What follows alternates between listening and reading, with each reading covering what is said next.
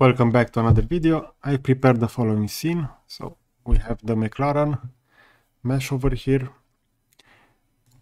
I imported the hood separately and I have prepared a sketch over here in order to highlight the functionality of projection curve within Shape Sculptor. So before we get started, let's see what we can do with project curve. As you can see, this will project a curve onto a polygonal mesh. In order to do that, we need to select the curves and then the polygonal mesh to be projected onto. And we have three methods, view direction, closest point, and compass direction. So to get started, I will select the mesh of the hood, which is this one. I will hold down control, select the sketch where I added two splines. And afterwards, if I will go to project curve, we're gonna see that the first option will be view. Therefore, according to the view, view scene position, so if I will just click apply like this, you're gonna see that if I will move the mouse, I will see the projected curve over there. Now, in order to position everything onto the hood, I need to position the view something like this. Afterwards, hit apply. And now we're gonna see how that 3D curve will be positioned over there. Keep in mind that all of these are editable. Therefore, this is one of the main advantage. If I can just double click over here on sketch, this is a planar sketch. But as we can see, we can just manipulate the vertices in order to change the overall shape of um, of the curve. Afterwards, if I will just clear that, so I will exit. Again, if I will go to project curve, if I only have this selected and not the mesh, you're gonna see that the apply button will not be enabled, but I can just hold down control, add the mesh over here, and we're gonna see how the apply function will activate and we can just have that applied. We can also change this to be according to the compass. So keep in mind that this will work according to the compass on the right side. If I will hit apply like this, we're gonna see how the projection will be slightly moved from the previous one from the view. But again, in this case, this will project very good according to the z-axis that we have over here on the compass.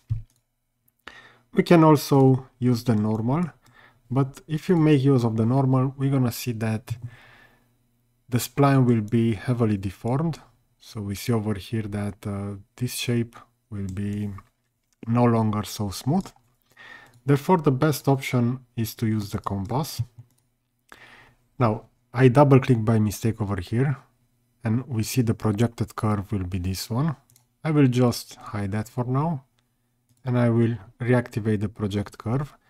Keep in mind that we can only select, uh, for example, the D over here, afterwards the mesh, use the compass, and even though I only selected that section of the sketch, the whole sketch will be will be projected. So if you want to only isolate certain section, it is highly recommended that you use individual sketches for those. Okay, so let's take a look at how I set up this scene.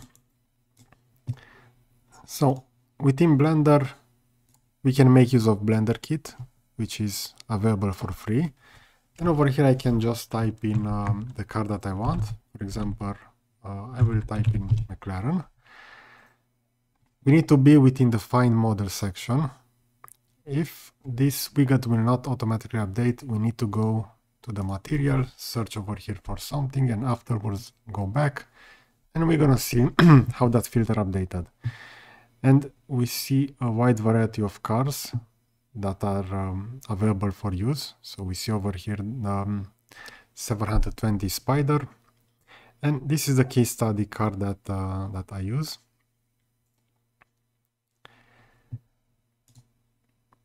So keep that in mind that if you just want to um, make use of a wide variety of models, the ones that don't have a lock are available within the free version. So for example, if I would want to add this car, I can just hold it, drag and drop it. Now, depending on the computer specifications, in some cases it will lock down like this. This is because I had it set to enable um, those um, materials in real time. So let me just start Blender again. If I would try this uh, on my other computer, it will work. But over here we have the shading, viewport shading, and um, we also have the one with material. So let me just search for that again. McLaren. and I will drag and drop. This one was the one that bugged previously. So as we can see, we can just drag and drop it. It will start download. And um, still have several um, elements to download. And now we have it in the viewport. And this is the other card that I prepared for this. Again, if I will drag and drop this, position it, Blender will start downloading this using the Blender Kit add-on, and we have both cars enabled. Previously, this bugged because if I activate the viewport uh, shading, this will enable the texture. So we have this one texture that I had previously. We see that the loading time for this was faster since it was already preloaded within my previous scene. And now for the other car, the materials are slowly loading in. So we see some of the interior elements. I will just select the chair. Afterwards, I will press period on the numpad that will frame the camera closer. As we can see, now the materials are slowly loading. If I try to rotate while those are still loading, it will take a little bit of time to process. Therefore, I will wait several um, seconds in order to have all those loaded. So we have the, the glass, we have the interior of the car. There are still some elements that are within gray that need to be loaded and we see that now we have everything loaded. And we see also that um, we have those two those two screens over there. So how did I set up the scene within CATIA? Initially, I only selected um, these three elements over here. And afterwards, I, will, I went to File, Export, STL. I went on the desktop and I call this hood. I will just call this hood 2. Over here, it is important to check se selection only. Otherwise, Blender will take all the geometry within the scene. And with selection only, we only take those uh, three front elements from the front of the car, have that exported. Afterwards, if I want to export the whole car over here, I can just select those three elements, press uh, H in order to hide them. And I'll do a rectangle selection to grab everything over here. Even though we have the car rig selected, that will not be saved as um, STL because STL will only take the geometry of the car. So if I will go to File, Export, STL again, and I will just call this uh, car. I will leave the 2. Keep selection only, the scale will be set to 1 and hit export. And now within CATIA, I will just create a new a new part. For this case study, we don't need an assembly, so we can just go with the part. I will leave the hybrid design enabled, and this will be the blank scene.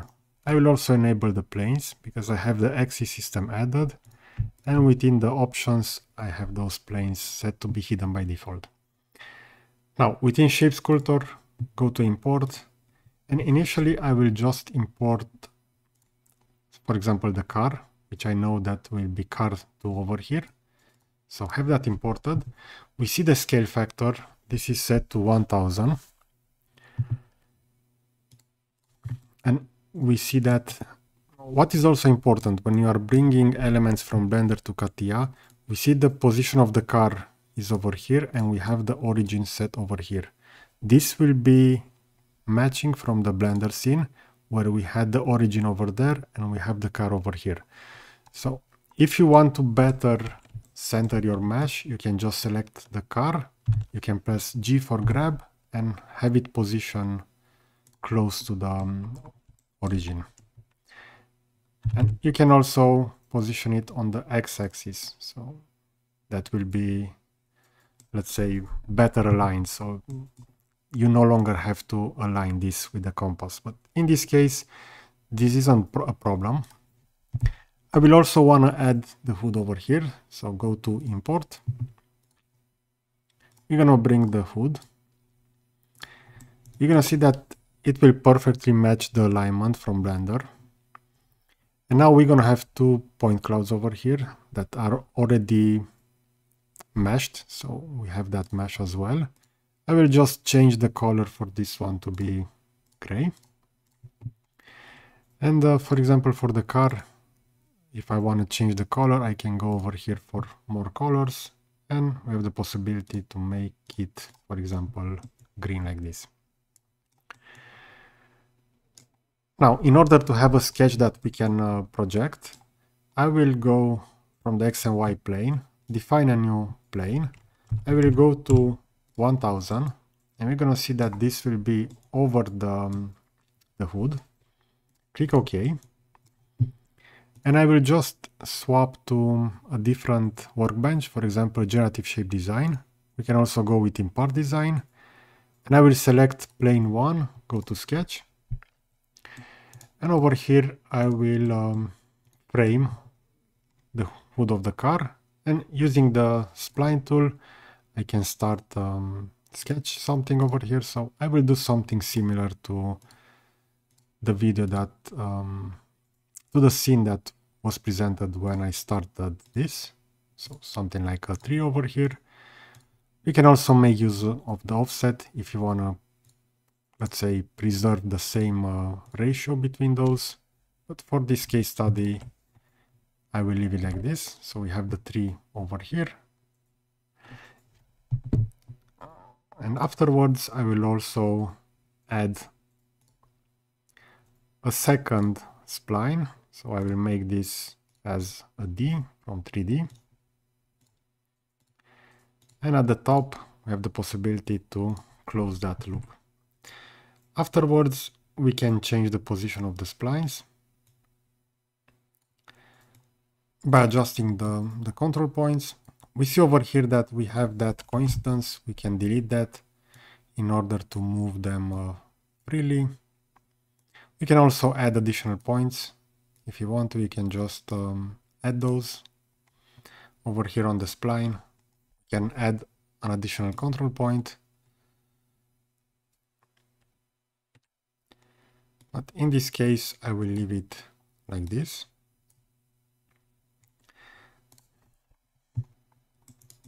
So we have that position. And now, if I will go back to Shape Sculptor, I can enable the Project 3D, select the mesh, hold down Control, select the sketch as well. And if you're gonna use the compass, we see that the z-axis will be positioned like that. We're gonna hit apply you're gonna have that sketch projected to the mesh. Okay, so I hope that you find this video useful. I will position a similar video over here on the left. I will add this to CATIA V5 tips and tricks on the top right, and I will also add a subscribe button. So that's it. Thanks for watching.